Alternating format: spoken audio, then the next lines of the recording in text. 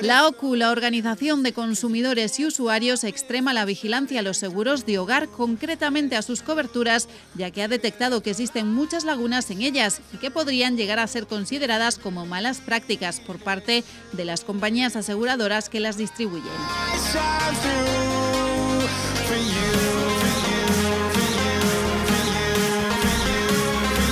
El organismo ha dado la voz de alarma en lo que respecta a las exclusiones habituales de los daños por agua con motivo de la congelación u oxidación de las cañerías o por lo que las aseguradoras consideran como vicio propio del objeto. También por los provocados por fugas de agua si el asegurado estuvo ausente cierto tiempo, humedades por condensación o los provocados por fenómenos meteorológicos que no sobrepasen una cierta intensidad.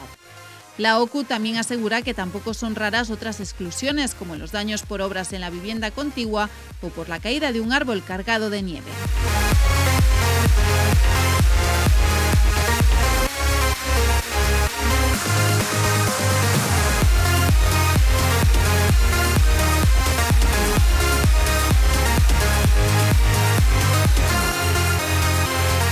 La Organización de Consumidores y Usuarios considera también que los límites de la responsabilidad civil son del todo insuficientes para cubrir siniestros que causen lesiones graves o un fallecimiento, por ejemplo, por la caída de una maceta desde una ventana. Actualmente el límite máximo que puede contratarse raras veces supera los 600.000 euros, cuando la cobertura por daños físicos del seguro obligatorio del automóvil, por ponerlo en perspectiva, cubre hasta 70 millones.